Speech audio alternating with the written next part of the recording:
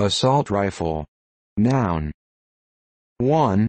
A military-style automatic rifle or carbine that fires a shortened rifle caliber round or lower power smaller caliber round, from a high-capacity magazine. 2. Colloquial, any assault weapon.